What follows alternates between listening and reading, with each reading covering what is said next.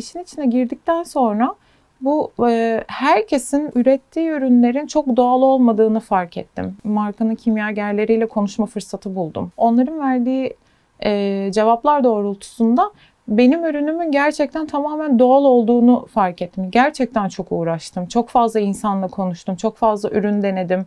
Hazırlık dönemini ve deneme sürelerini falan çok uzun geçirdim ki hani en kaliteli ürünü çıkartabileyim diye.